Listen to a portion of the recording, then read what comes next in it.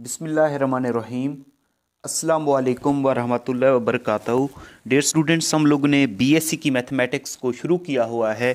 BSc में जो calculus and analytic geometry की बुक है, उसका हम लोगों ने चैप्टर नंबर सेवन शुरू किया हुआ है, जिसका नाम है analytic geometry of three dimension ये doctor M N M Talpur की बुक है, ठीक है? इसके आज हम लोगों ने एक मोस्ट इम्पोर्टेंट टॉपिक के ऊपर बात करनी है। ठीक है? सफेरिकल पोलर कोऑर्डिनेट्स क्या होते हैं? सिलेंड्रिकल पोलर कोऑर्डिनेट्स क्या होते हैं? रेक्टेंगुलर रेक्टेंगुलर कोऑर्डिनेट्स क्या होते हैं? ठीक है? उनको हम लोगों ने समझना है, उनके फार्मूले आज हम लोगों ने प्रूफ करना है, ठीक है? कि उनको किस तरीके से हम लोग डिराइव करते हैं। इसके अलावा सफेरिकल पोलर कोऑर्डिनेट्स का रेक्टेंगुलर कोऑर्डिनेट्स सिस्टम के साथ क्या ताल्लुक है? पोलर सिलेंड्रिकल पोलर कोऑर्डिनेट्स का सफेरिकल पोलर कोऑर्डिनेट्स के साथ क्या ताल्लुक है, ठीक है? उनको हम लोग किस तरीके से फाइंड आउट करते हैं? कौन कौन सी वैल्यूज़ हमारे पास गिवन हूँ तो कौन से फार्मूले हम लोग यूज़ कर सकते हैं? ठीक है, इनके ऊपर हम लोगों ने बात करनी है। ये वाले जो प्रूफ मैं आज आप लोगों को करवाऊँगा, ये नेक्स्ट जो आने वाली एक्सरसाइज 7.16 है, ये उसमें भी यूज़ होंगे, ठीक है? इसके अलावा ये वाला टॉपिक आप लोगों को F S C B S C M S C में ये पढ़ाया जाता है, ठीक है? ये तमाम क्लासेस के लिए आप लोगों के लिए मुफीद साबित होगा, ठीक है? आप लोग हर क्लास में इसको कर सकते हैं। सफेरिकल पोलर कोऑर्डिनेट्स या सिलेंड्रिकल पोलर कोऑर्डिनेट्स का आप लोगों का कोई भी टॉपिक आ जाए तो आप लोग ये देख लीजिएगा, ठीक है? इसको देखने के बाद आप लोगों को फिर इन ताला इसमें कोई प्रॉब्लम नहीं आएगी, ठीक है? तो अच्छे से, अच्छे तरीके से इनको समझेगा सबसे पहले हम लोग बात करते हैं सफेरिकल पोलर कोऑर्डिनेट्स क्वेश्चन इस तरीके से आ सकता है पेपर में discuss spherical polar coordinates and cylindrical polar coordinates या रेक्टेंगुलर कोऑर्डिनेट्स सिस्टम ठीक है? तो सफेरिकल सबसे पहले हम लोग बात करते हैं सफेरिकल पोलर कोऑर्डिनेट्स इसका सोल्यूशन सबसे पहले हम लोग बात करते हैं सफेरिकल सफेरिकल पोलर कोऑर्डिनेट्स अच्छा सफेरिकल पो, पोलर कोऑर्डिनेट्स को किससे जहर करते हैं? रॉ थीटा और फाई से शो करते हैं। रॉ थीटा और फाई को क्या कहते हैं? सफेरिकल पोलर कोऑर्डिनेट्स इनके फार्मूले हम लोगों ने प्रूव करना है ठीक है? इनको साबित करने के लिए सबसे पहले हम लोगों ने क्या करना है? फाइंड आउट करना है। रेक्टेंगुलर कोऑर्डिनेट सिस्टम के फार्मूले फाइंड आउट करने हैं। किसके फाइंड आउट करने हैं? रेक्टेंगुलर कोऑर्डिनेट सिस्टम के फार्मूले प्रूव करने हैं। रेक्टेंगुलर कोऑर्डिनेट्स के सिस्टम के फार्मूले जब हम लोग प्रूव कर लेंगे, ठीक है, वो फार्मूले होंगे तो फिर हम लोग सफेरिकल पोलर कोऑर्डिनेट्स के फार्मूले निकाल सकेंगे। तो इनको प्रूफ करने के लिए सबसे पहले मैं एक छोटी सी डायाग्राम बनाता हूँ, ठीक है, उसी को देखते हुए फिर हम लोग क्या कर लेंगे रेक्टेंगुलर कोऑर्डिनेट्स सिस्टम के फार्मूले प्रूफ कर लेंगे। ये देखें, ये होती है थ्री डायमेंशन थ्री डायमेंशन में हमारे पास तीन किस्म की लाइनें होती हैं, ठीक है? ये हमारे पास एक्स एक्सिस लाइन होती है, ठीक है? ये हमारे पास क्या होती है? वाई एक्सिस लाइन होती है और ये हमारे पास क्या होती है? जी एक्सिस लाइन होती है, ठीक है? इसको हम लोग इनिशियल लाइन कहते हैं, इसको हम लोग सेकेंड लाइन ये थर्ड लाइन हो गई, ठीक है? ये सारी हमारे पास ओरिजिन से पास हो रही हैं, ठीक है? कोऑर्डिनेट सिस्टम में इस ओरिजिन को हम लोग पोल भी कहते हैं इसको हम लोग पोल भी कहते हैं, इसको हम लोग ओरिजिन भी कहते हैं, इसको हम लोग रेफरेंस पॉइंट भी कहते हैं। ठीक है, जो मर्ज़ी आप लोग कह लें। तो थ्री डिमेंशन क्योंकि ये थ्री डिमेंशन है थ्री डिमेंशन में हमारे पास कोई भी यहाँ पे अगर पॉइंट हो, ठीक है, इसके अंदर थ्री टपल के एलिमेंट्स होंगे एक्स वाई और जी ठीक है, ये होगा। तो ओरिजिन से इसका कोई भी यहाँ पे डिस्टेंस ले लें, ठीक है तो उसको हम लोग किससे जहर करते हैं? पोजीशन वेक्टर से जहर करते हैं, ठीक है? लेकिन यहाँ पे पोजीशन वेक्टर जो है, हम उसको रो से रिप्रेजेंट करेंगे। किससे रिप्रेजेंट करेंगे? रो से रिप्रेजेंट करेंगे, ठीक है? यहाँ से यहाँ तक इसका जो डिस्टेंस है, उसको हम लोग रो से रिप्रेजेंट करेंगे, ठीक है? अगर इस पॉइंट पी से, यहाँ से इस पॉइंट क्यू तक अगर हम लोग इसका प्रोजेक्शन ले लें, ये हमारे पास क्या है? इसका प्रोजेक्शन ले लें यहाँ तक, और यहाँ पे कोई भी हमारे पास एंगल बन रहा होगा, ठीक है? जहाँ पे हमारे पास रॉ होगा ओरिजिन से रॉ होगा ये एक ट्राई एंगल बन रही है। यहाँ पे जो हमारे पास एंगल बन रहा होगा उसको हम लोग किसी फाई का नाम मेंशन करते हैं ठीक है? तो जिस तरह ये हमारे पास आ, ये लाइन है ठीक है?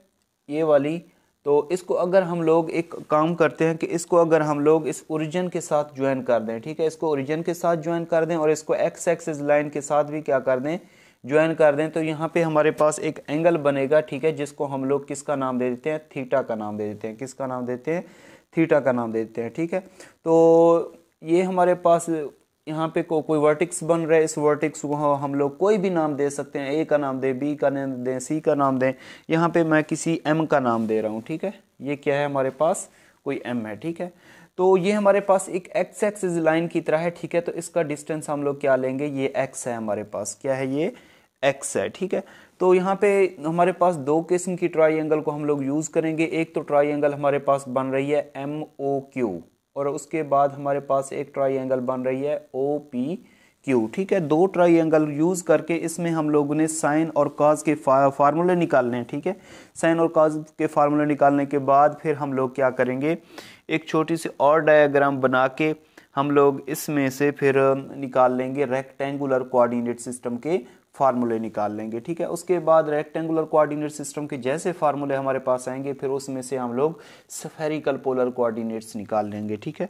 तो इसमें हमारे पास, यहाँ पे मैं सबसे पहले ट्राइंगल यूज़ कर रहा हूँ एम ओ क्यू हमारे पास एक ट्राइंगल बन रही है, यहाँ पे एम ओ क्यू ट्राइंगल बन रही है, ठीक है?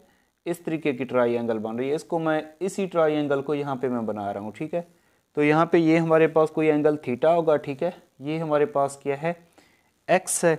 वर्टिकली देखा जाए ये वाला, ये यहाँ से लेकर यहाँ तक हमारे पास जो डिस्टेंस होगा वर्टिकली इसमें होगा तो ये हमारे पास क्या होगा? वाई होगा, ठीक है? तो नाम क्या है यहाँ पे? ओ ओ ये हमारे पास क्या है? एम और ये क्या है हमारे पास यहाँ पे? क्यू है, ठीक है? ओ एम क्यू ये हमारे पास ट्राइंगल बन रही है। तो इस ट्राइंगल पे अगर मैं फार्मूला अप्लाई कर दूँ कॉज का, ठीक है? कॉज क्या होता है हमारे पास? बेस ओवर हैपोटेन्यूज ठीक है? ये हमारे पास यहाँ पे एंगल 90 डिग्री का बनेगा। ये हमारे पास बेस है। ये हमारे पास क्या है? परपेंडिकुलर और ये क्या है हमारे पास? हैपोटेन्यूज ठीक है? इसको क्या कहते हैं? हैपोटेन्यूज काज होता है हमारे पास base over hypotenuse base over hypotenuse तो बेस हमारे पास कितना है? एक्स और हैपोटेन्यूज कितना है? ओ क्यू ठीक है? ये हमारे पास किसके बराबर है? ओ क्यू ठीक है? उस ओ क्यू का डिस्टेंस तो इसमें से अगर मैं निकाल लूँ एक्स की वैल्यू ठीक है? तो हमारे पास ये cos theta is equal to हो जाएगा एक्स ओवर ओ क्यू ठीक है? एक्स इसमें से निकाल लेंगे तो क्रॉस मल्टीप्लाई कर लेंगे। एक्स हमारे पास हो जाएगा O Q O Q distance और यहाँ पे आ जाएगा काज ऑफ़ थीटा, इसको इक्वेशन नंबर हम लोग नाम मेंशन कर देते हैं वन का, ठीक है? इसी ट्राइंगल में से अगर मैं सैन थीटा निकालूं तो सैन थीटा हमारे पास होता है सैन थीटा होता है perpendicular over hypotenuse perpendicular over hypotenuse ठीक है? तो परपेंडिकुलर हमारे पास कितना है? यहाँ पे वाई और हैपोटेन्यूज कितना है? हमारे पास ओ क्यू ठीक है? ये हमारे पास आ जाएगा यहाँ पे ओ क्यू तो इसमें से अगर क्रॉस मल्टीप्लाई करके वाई निकाल लूँ तो y इज़ इक्वल टू हो जाएगा ओ क्यू ठीक है? और यहाँ पे आ जाएगा साइन ऑफ़ थीटा ये हमारे पास कोई कोई नंबर टू आ जाएगी, ठीक है? अब हमारे पास एक दूसरी ट्राइंगल ये बन रही है, जिसको कहते हैं हम लोग ओ पी क्यू ट्राइंगल बन रही है, ठीक है? इसमें से भी हम लोग क्या करेंगे? साइन और काज का फार्मूला निकालेंगे, ठीक है? तो दूसरी हमारे पास जहाँ पे जो ट्राइंगल बन रही है, वो कौन सी बन रही है? ओ पी क्यू ठीक है? ट्राइंगल ओ पी और क्यू ठीक है? इस ट्राइंगल को ऐसे बना लेते हैं यहाँ पे। ये हमारे पास, ये एक ट्राइंगल बन चुकी है, ठीक है? इस ट्राइंगल यहाँ से यहाँ तक इसका जो डिस्टेंस है, उसको हम लोगों ने किसी रॉक का नाम दिया। यहाँ पे एंगल जो बन रहा है फाइव बन रहा है, ठीक है? एंगल के सामने वाली साइड को हम लोग क्या कहते हैं? परपेंडिकुलर इसको परपेंडिकुलर कहते हैं। ये हमारे पास क्या होगी? बेस और ये क्या होगी? हमारे पास हैपोटेन्यूस होगी, ठीक है? ये हमारे पास क्या होगी? बेस और ये हैपोटेन्यूस अच्छा ये देखें कि हमारे पास यहाँ पे इसको हम लोग किसी, ये क्यू का नाम था यहाँ पे। ये क्या था? पी और ये क्या था हमारे पास? ओरिजिन ये है पी क्यू ठीक है? पी क्यू एक वर्टिकली लाइन है। वर्टिकली जिस तरह जी एक्सिस लाइन है सेम उसी तरीके से ये पी क्यू लाइन है। तो इसको हम लोग, ये बेस किसके बराबर है? यहाँ पे जेड के बराबर है, ठीक है? और हैपोटेन्यूस किसके बराबर है? यहाँ पे ये रो के बराबर है, ठीक है? ये किसके बराबर है? रॉ के। तो अब हम लोग इस पे अप्लाई करते हैं साइन और काज का फार्मूला जिस तरह ये अप्लाई किया था। और हमें वैल्यू चाहिए किसकी? ओ क्यू की वैल्यू चाहिए, ठीक है? क्या फाइंड आउट करना है? ओ क्यू ओ क्यू निकाल के फिर इस वन और टू में इक्वेशन में पुट कर देंगे। तो इसमें अगर हम लोग साइन का फार्मूला अप्लाई करें तो साइन क्या होता है? परपेंडिकुलर ओवर हैपोटेन्यूस ठीक है? परपेंडिकुलर ओवर हैपोटेन्यूस तो परपेंडिकुलर क्या है? ओ क्यू और हैपोटेन्यूस क्या है? हाँ यहाँ पे रॉ दिया हुआ है, ठीक है? ये रॉ तो इसको क्रॉस मल्टीप्लाई करके अगर हम लोग ओ क्यू निकाल लें तो ओ क्यू हमारे पास हो जाएगा? रॉ साइन ऑफ़ फाइव ठीक है? ये हमारे पास कोई इक्वेशन नंबर आ जाएगी थ्री आ जाएगी, ठीक है? इसी तरीके से अगर हम लोग काज का फार्मूला अप्लाई करें काज क्या होता है? Base over hypotenuse base over hypotenuse base कितना है हमारे पास? बेस हमारे पास है जेड और हैपोटेन्यूस कितना है हमारे पास? आ, ये बेस हमारे पास कितना है जेड और हैपोटेन्यूस कितना है हमारे पास रो ठीक है? तो काज फाई हमारे पास आ जाएगा cos phi is equal to z over rho आ जाएगा ठीक है? जेड ओवर रो तो ये हमारे पास कोई कोई नंबर आ जाएगा यहाँ पे फोर अब हम लोग क्या करते हैं? पुटिंग करते हैं putting three in equation three in equation one and two ठीक है? इक्वेशन थ्री को पुट करते हैं वन और टू में। तो हमारे पास x इज़ इक्वल टू कितना हो जाएगा? x इज़ इक्वल टू हो जाएगा ओ क्यू किसके बराबर है? ओ क्यू हमारे पास बराबर है rho sin five rho sin five और ये क्या दिया हुआ है? यहाँ पे काज ऑफ़ थीटा ठीक है? तो एक तो ये फार्मूला आ जाएगा हमारे पास रेक्टेंगुलर कोऑर्डिनेट सिस्टम का। इसी तरह अगर हम लोग y में पुट करें तो y हमारे पास ओ क्यू किसके बराबर है? रो सैन फाइव तो रो साइन फाइव और यहाँ पे क्या दिया हुआ है? साइन ऑफ़ थीटा ठीक है? और तो एक दूसरा फार्मूला हमारे पास ये आ जाएगा, ठीक है? जेड हम लोग पहले निकाल चुके हैं। जेड इज़ इक्वल टू है हमारे पास, ये हमारे पास है यहाँ पे रो इसको अगर फ्राम इक्वेशन फोर में से निकाल लें। फोर इक्वेशन में से अगर जेड निकाल लें तो जेड हमारे पास है रो काज ऑफ़ फाइव ठीक है? ये हमारे पास जो फार्मूले हैं, इनको हम लोग कहते हैं रेक्टेंगुलर कोऑर्डिनेट सिस्टम के फार्मूले ठीक है? रेक्टेंगुलर कोऑर्डिनेट सिस्टम को किससे शो करते हैं? एक्स वाई और जी से शो करते हैं, ठीक है? ये हमारे पास जो फार्मूले हैं, वो हैं rectangular rectangular coordinates rectangular coordinates system के फार्मूले हैं, ठीक है? जब हमें रेक्टेंगुलर कोऑर्डिनेट सिस्टम जब हमारे पास सफेरिकल पोलर कोऑर्डिनेट्स गिवन हो सफेरिकल पोलर कोऑर्डिनेट्स क्या होता है? रो थीटा और फाई जब ये हमारे पास गिवन हो रॉ की वैल्यू भी गिवन हो थीटा की वैल्यू भी गिवन हो फाई की वैल्यू भी गिवन हो, ठीक है? तो हम लोग फिर उसमें से आसानी से रेक्टेंगुलर कोऑर्डिनेट सिस्टम निकाल सकते हैं, ठीक है? रेक्ट अगर हमें rectangular coordinate system find out करने होंगे तो फिर हम लोग ये तीन फार्मूले यूज़ करेंगे, ठीक है? ये क्या, कौन से फार्मूले हैं? रेक्टेंगुलर कोऑर्डिनेट सिस्टम के फार्मूले हैं, ठीक है? अब हम लोगों ने प्रूव करना है सफेरिकल पोलर कोऑर्डिनेट सिस्टम के फार्मूले ठीक है? कौन से फार्मूले प्रूव करने हैं? सफेरिकल पोलर कोऑर्डिनेट सिस्टम के फार्मूले मतलब फाइंड आउट करना है हम लोगों ने रॉ थीटा और फाइव तो वो हम लोग प्रूव करने के लिए हमें ज़रूरत होगी रेक्टेंगुलर कोऑर्डिनेट सिस्टम मतलब एक्स वाई और जी की वैल्यू की ज़रूरत होगी. तो वो हम लोग ने अभी निकाल ली हैं, फिर उनको यूज़ करके हम लोग क्या करेंगे? सफेरिकल पोलर कोऑर्डिनेट्स के फार्मूले प्रूफ करेंगे. ठीक है? तो जो रिज़ल्ट अभी हम लोगों ने प्रूफ किए, ठीक है, वो मैंने यहाँ पे लिख लिए rectangular coordinate systems formulas are ये एक्स का फार्मूला ये वाई का और जी का। ठीक है, यहाँ पे कास थीटा आप पहले लिख दो या बाद में लिख दो, कोई इशू नहीं है, ठीक है। यहाँ पे क्योंकि होता है रो थीटा फाइव तो इसी वजह से पहले मैंने रो वाला फ़ंक्शन लिखा थीटा वाला, फिर फाइव वाला। इसी तरीके से वाई लिखा और ये जी लिखा, ठीक है। सबसे वैल्यू पहले हमें फार्मूला चाहिए इस रो का, ठीक है, इस रो का फार्मूला चाहिए। तो यहाँ पे लिखते हैं फार इस रो ठीक है? इस रो के लिए हम लोग क्या करेंगे? कैलकुलेशन करेंगे। तो ये फाइंड आउट करने के लिए हम लोग क्या करेंगे? जो हमारे पास तीन इक्वेशन है वन टू और थ्री तो हम लोग क्या करते हैं? इक्वेशन वन को टू और थ्री के साथ ऐड भी कर देते हैं और इनके सुके रंग भी ले लेते हैं, ठीक है? तो लेफ़्ट हैंड साइड से लेफ़्ट हैंड साइड ऐड करेंगे राइट हैंड साइड से राइट हैंड साइड क्या कर देंगे? हम लोग ऐड कर देंगे। तो ये हमारे पास हो जाएगा एक्स का स्केयर प्लस वाई का स्केयर प्लस जी का square is equal to rho cos theta sine phi और इसका होल का square plus rho sine theta और ये साइन फाइव और इस होल का square plus rho cos phi और इसका होल का स्केयर ठीक है, इसका स्केयर ओपन करेंगे तो ये हमारे पास हो जाएगा x square plus y square plus z square is equal to इसका स्केयर ओपन करेंगे तो ये वाला जो स्केयर है, इसका भी है, इसका स्केयर है, सबका स्केयर हो जाएगा। रो स्केयर ये हो जाएगा कास स्केयर थीटा और साइन स्केयर फाइव प्लस ये आ जाएगा rho square rho square sine square theta और sine square phi plus rho square और ये हो जाएगा काज स्केयर फाइव ठीक है, ये ओपन कर दिया। अब इसमें से पहले इन दोनों में से हम लोग कॉमन ले लेते हैं रो स्केयर और साइन स्केयर फाइव क्या ले लेते हैं? कॉमन ले लेते हैं, ठीक है? ये इसमें भी कॉमन है, इसमें भी कॉमन है। तो ये हमारे पास हो जाएगा rho square sine square phi common ले लिया, ठीक है? बाकी रह जाएगा cos square theta plus sine square theta ठीक है? ये कॉमन ले लिया। बाकी ये वाला फैक्टर वैसे का वैसा रो स्क्र और ये हो जाएगा कॉज स्क्र फाइव तो ये आ जाएगा rho square sine square phi वैसे का वैसा, ठीक है? Cos square theta plus sine square theta one के बराबर होता है और ये हो जाएगा rho square cos square phi आ जाएगा, ठीक है? Rho square sine square phi को वन से मल्टीप्लाई करें तो हमारे पास वही ओरिजिनल रिज़ल्ट आ जाएगा, ठीक है?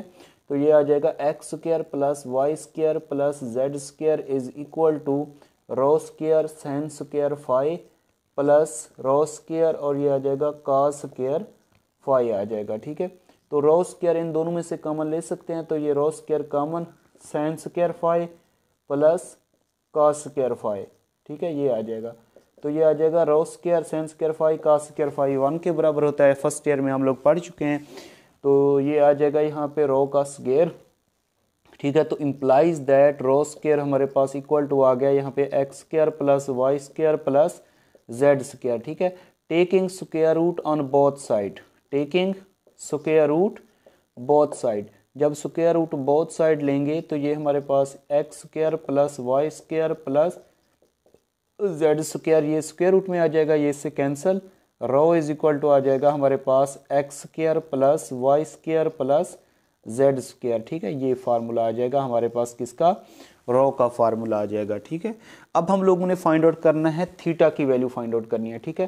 तो यहाँ पे लिखेंगे फॉर थीटा थीटा के लिए हम लोग क्या करते हैं? ये हमारे पास इक्वेशन टू है, ये इक्वेशन वन है। तो इक्वेशन टू को डिवाइड कर देते हैं इक्वेशन वन पे, ठीक है? तो ये हमारे पास हो जाएगा वाई ओवर एक्स ठीक है? वाई ओवर एक्स ये इस पे डिवाइड हो जाएगा। तो ये आ जाएगा राई rho sine theta sine phi और डिवाइडेड बाय हमारे पास ये ये इस पे डिवाइड हो जा, हो जाएगा, ठीक है? रो कास थीटा और ये साइन ऑफ़ फाइव जो ये जैसे फैक्टर है, इनको कैंसिल आउट कर देंगे, ठीक है? ये और ये cancel sine theta over cos theta किसके बराबर होता है? टेन थीटा के बराबर होता है, ठीक है? ये आ जाएगा टेन थीटा तो इम्प्लाइज दैट टेन थीटा हमारे पास इज़ इक्वल टू आ जाएगा वाई ओवर एक्स ठीक है? इसमें से हम लोगों ने थीटा निकालना है तो थीटा इज़ इक्वल टू हो जाएगा हमारे पास tan inverse y over x ठीक है? ये हमारे पास किसका रिज़ल्ट आ जाएगा? इस थीटा का रिज़ल्ट आ जाएगा, ठीक है? लास्ट में हम लोगों ने क्या फाइंड आउट करना है? आर थीटा और फाइव फाइंड आउट करना है, ठीक है? ये वाला फाइव फाइंड आउट करना है। तो फ्रॉम इक्वेशन थ्री में से निकाल लें। फ्रॉम इक्वेशन थ्री में से, ठीक है? तो इसमें से अगर हम लोग काज फाइव निकालें तो cos phi is equal to हो जाएगा जेड ओवर रो ये रो मल्टीप्लाई द डिवाइड हो जाएगा। तो फाइव क्या हो जाएगा? ये काज का फ़ंक्शन दूसरी तरफ़ इन्वर्स हो जाएगा। Cos inverse z over rho आ जाएगा, ठीक है? तो ये हमारे पास इसका थर्ड फार्मूले का प्रूफ आ जाएगा, ठीक है? तो ये वाले हमारे पास जब रेक्टेंगुलर कोऑर्डिनेट सिस्टम गिवन हो तो हम लोग सफेरिकल पोलर कोऑर्डिनेट्स आसानी से मालूम कर सकते हैं। मतलब ये कि जब हमारे पास एक्स वाई और जी की वैल्यू गिवन हो वाई और एक्स की जी ओवर रो की, ये जब वैल्यूज़ हमें गिवन होंगी तो हम लोग फिर सफेरिकल पोलर कोऑर्डिनेट्स आसानी से फाइंड आउट कर सकते हैं, ठीक है? तो ये फार्मूले फिर नेक्स्ट आने वाली एक्सरसाइज में इंशाल्लाह ताला हम लोग यूज़ भी करेंगे, ठीक है? इसके बाद हम लोग बात करते हैं सिलेंड्रिकल पोलर कोऑर्डिनेट्स ठीक है? कि सिलेंड्रिकल पोलर कोऑर्डिनेट्स क्या होते हैं? उनके फार्मूले हम लोग किस तरीके से प्रूव करते हैं? उनके ऊपर बात करते हैं सिलेंड्रिकल पोलर कोऑर्डिनेट्स तो सिलेंड्रिकल पोलर कोऑर्डिनेट्स के लिए भी हम लोग क्या करेंगे? कि इसके लिए भी हम लोग एक डायाग्राम की हेल्प की मदद से हम लोग सिलेंड्रिकल पोलर कोऑर्डिनेट्स के फार्मूले प्रूव कर लेंगे, ठीक है? सिलेंड्रिकल पोलर कोऑर्डिनेट्स क्या होते हैं? उनको कहते हैं हम लोग आर थीटा और जेड कहते हैं, ठीक है? आर थीटा और जेड को क्या कहते हैं? सिलेंड्रिकल पोलर कोऑर्डिनेट्स ठीक है? तो थ्री डायमेंशन में हमारे पास तीन लाइनें होती हैं, ठीक है? एक लाइन को कहते हैं हम लोग एक्स एक्सिस दूसरी को क्या कहते हैं? वाई एक्सिस और थर्ड को क्या कहते हैं? जी एक्सेस ठीक है? ये हमारे पास इनिशियल लाइन हो गई एक्स एक्सेस और ये हमारे पास दूसरी लाइन हो गई, क्या होगी? वाई एक्सेस ठीक है? और ये हमारे पास थर्ड लाइन हो गई जी एक्सिस लाइन हो गई, ठीक है? तो यहाँ पे कोई भी हमारे पास थ्री डायमेंशन में कोई पॉइंट होता है जिसको हम लोग ने थ्री टपल के एलिमेंट्स का नाम दिया एक्स वाई और जी ठीक है? तो अगर हम लोग इस पॉइंट एम पर इसका प्रोजेक्शन लें तो इस तरीके से ये प्रोजेक्शन हम लोग ने ले लिया, ठीक है? तो अगर ओरिजिन से ये हमारे पास क्या होगा? ओरिजिन इसको ओरिजिन भी कहते हैं पोल या रेफरेंस पॉइंट भी कहते हैं। ये वाला जो पॉइंट होता है, इसको हम लोग क्या कहते हैं? पोल भी कहते हैं, ठीक है? इसको आप लोग ओरिजिन भी कह सकते हैं, या इसको आप लोग क्या कह सकते हैं रेफरेंस पॉइंट भी कह सकते हैं रेफरेंस पॉइंट भी कह सकते हैं, ठीक है, जो मर्ज़ी कह लें।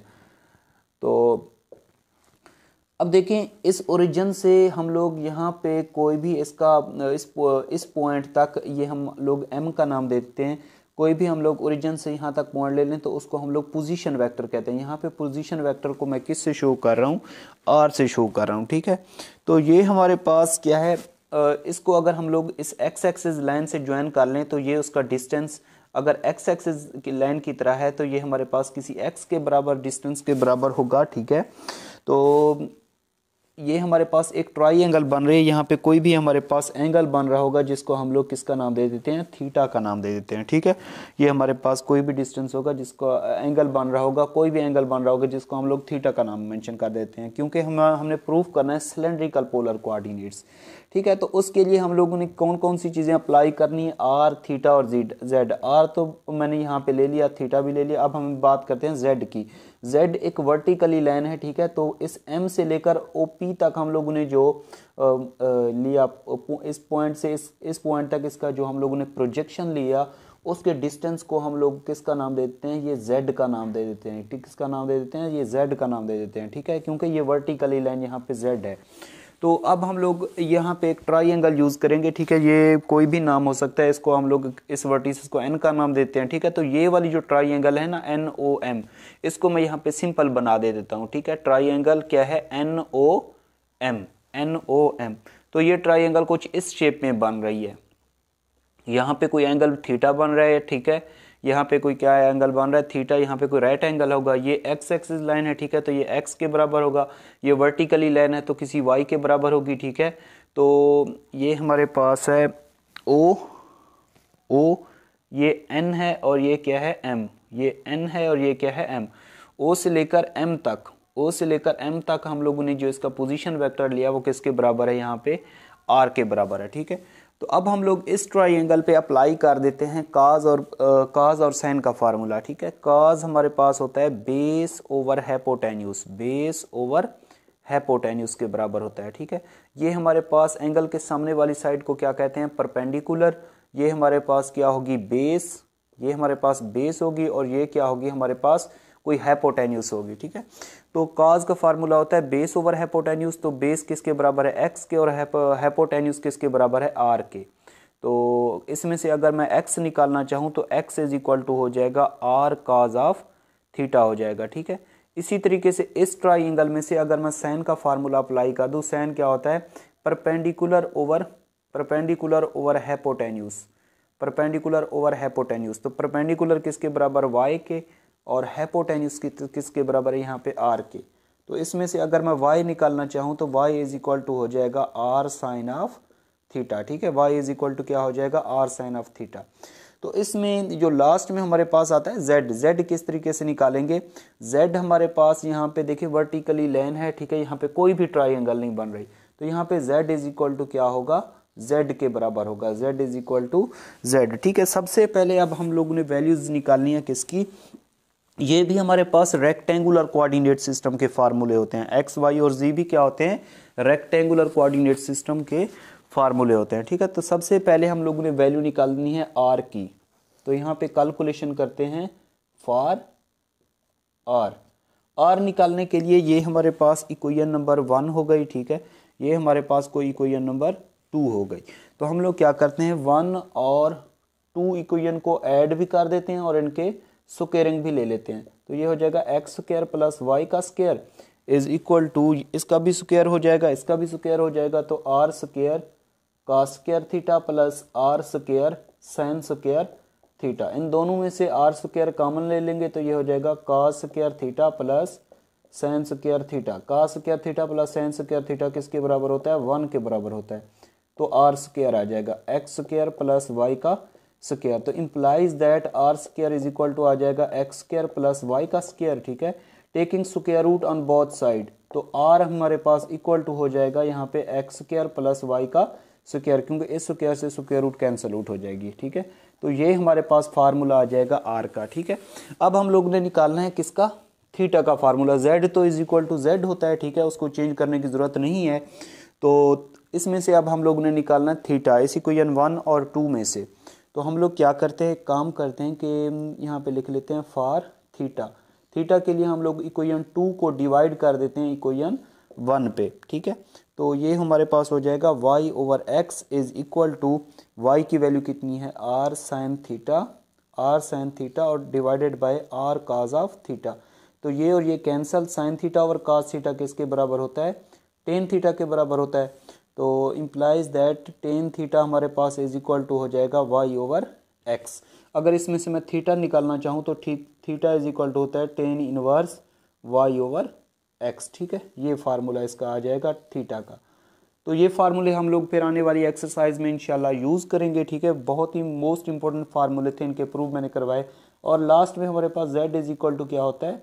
Z होता है, ठीक है?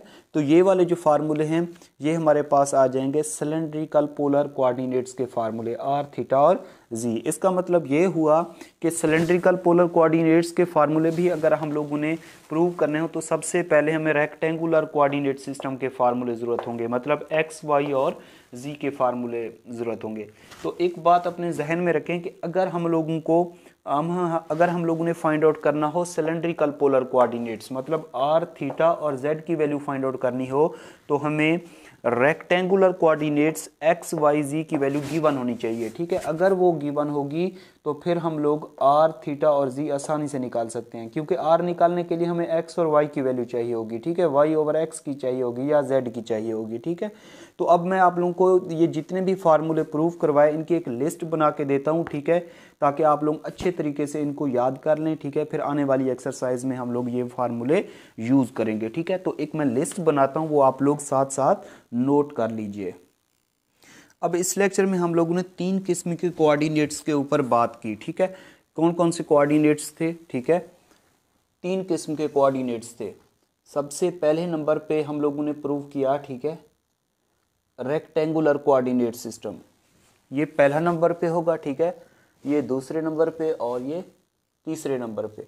पहले नंबर पे हम लोगों ने बात की रेक्टेंगुलर रेक्टेंगुलर कोऑर्डिनेट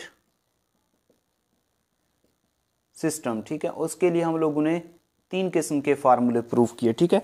कौन कौन से रेक्टेंगुलर कोऑर्डिनेट सिस्टम को रेक्टेंगुलर कोऑर्डिनेट्स कौन से होते हैं? एक्स वाई और जी वाले, ठीक है? तो एक्स का फार्मूला हम लोगों ने प्रूव किया, वो होता है rho cos theta sine phi y is equal to हमारे पास था rho sine theta sine phi ठीक है? और z इज़ इक्वल टू हमारे पास इक्वल टू होता है, z इज़ इक्वल टू होते हैं रो कॉज ऑफ़ फाइव ठीक है? एक तो रेक्टेंगुलर कोऑर्डिनेट सिस्टम के ये फार्मूले हम लोगों ने प्रूफ किए। तो ये वन ये टू और ये थ्री फोर नंबर पे हम लोगों ने एक फार्मूला एक्स वाई जी का प्रूव किया। एक्स इज़ इक्वल टू होता है एक्स इज़ इक्वल टू होता है आर कास थीटा, और वाई इज़ इक्वल टू क्या होता है आर साइन थीटा, और जेड इज़ इक्वल टू हमारे पास किसके बराबर होता है? जेड के बराबर होता है, ठीक है? ये हमारे पास फाइव और ये सिक्स, ठीक है? टोटल हमारे पास रेक्टेंगुलर कोऑर्डिनेट सिस्टम के टोटल छः फार्मूले हो गए। जब हमें गिवन हो रेक्टेंगुलर सफेरिकल पोलर कोऑर्डिनेट्स मतलब रो थीटा और फाइव की वैल्यू गिवन हो। तब हम लोग अगर हम, हमने फाइंड आउट करना हो रेक्टेंगुलर कोऑर्डिनेट्स तो हम लोग एक्स वाई और जी का ये वाला फार्मूला अप्लाई करेंगे, ठीक है? जब हमारे पास गिवन हो रो थीटा और z की वैल्यू r थीटा और z की वैल्यू गिवन हो तो तब हम लोग ने फाइंड आउट करना हो। जब रेक्टेंगुलर कोऑर्डिनेट्स तो हम तब हम लोग फार्मूला अप्लाई करेंगे x, y और z का। ये फार्मूला अप्लाई करेंगे, ठीक है? याद रखना, जब हमें सफ रो रो ये सॉरी रो थीटा और फाई क्या हो? गिवन हो। और हम लोगों ने फाइंड आउट करना हो रेक्टेंगुलर कोऑर्डिनेट्स तब हम लोग एक्स वाई और जी का ये फार्मूला अप्लाई करेंगे ठीक है? नेक्स्ट आने वाले क्वेश्चन में हमारे पास ये वैल्यू गिवन होंगी। तो, तो अगर हमारे पास यहाँ पे आर थीटा और जेड की वैल्यू गिवन हो ठीक है? तब हम और फाइंड आउट करना हो रेक्टेंगुलर कोऑर्डिनेट्स तब हम लोग ये फार्मूले यूज़ करेंगे ठीक है? ये तीन फार्मूले यूज़ करेंगे। दूसरे नंबर पे है हमारे पास spherical polar coordinates spherical spherical polar coordinates spherical polar coordinates कौन से होते हैं? उनको हम लोग कहते हैं रो थीटा और फाई कहते हैं, ठीक है? इसमें हमारे सबसे पहला फार्मूला मैंने जो प्रूव किया करवाया वो होता है rho x square plus y square plus z square या ऐसे भी लिख सकते हैं इसको rho square is equal to होता है x square plus y square plus z square ठीक है? दूसरा फार्मूला हम लोगों ने प्रूव किया इसका थीटा इज़ इक्वल टू होता है tan inverse y over x third number पे हम लोगों ने प्रूव किया फाई इज़ इक्वल टू होता है काज इनवर्स जी ओवर रो ठीक है, ये फार्मूले जब हमारे पास एक्स वाई जी की वैल्यू मतलब रेक्टेंगुलर कोऑर्डिनेट सिस्टम की वैल्यू गिवन हो, तब हम लोग आसानी से spherical polar coordinates find out कर सकते हैं, ठीक है? व्हेन एक्स वाई जी मतलब क्या?